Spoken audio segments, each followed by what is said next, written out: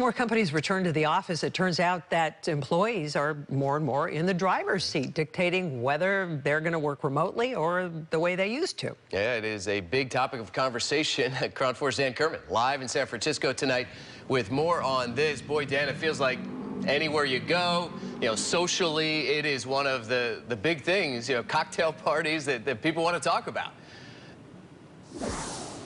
Absolutely. And, you know, more and more we're finding survey after survey that people who have been working remotely want to continue working remotely. There is a big chunk of that workforce who either wants a hybrid model where they're both in the office and at home or just staying totally at home. And the experts we talked to say that is putting the job seekers in the driver's seat.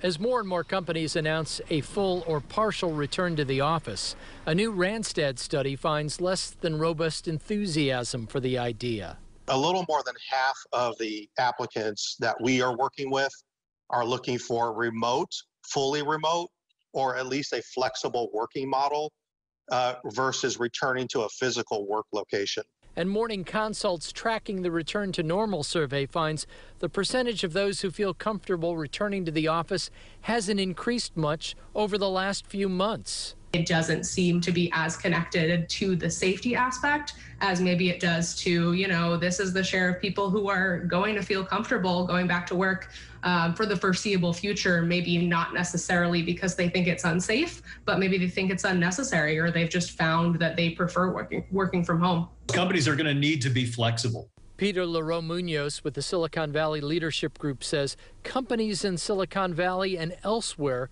will have to adapt to this new normal. This really does become a productivity concern for employees, also a quality of life issue for employees.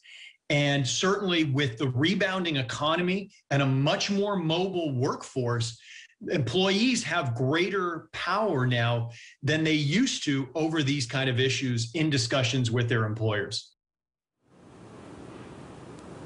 In fact, both of the surveys we were talking about indicates there's a more willingness to give up your job and move on to the next one if you are forced to go back to the office full time. Live in San Francisco, Dan Kerman, KRON 4 News.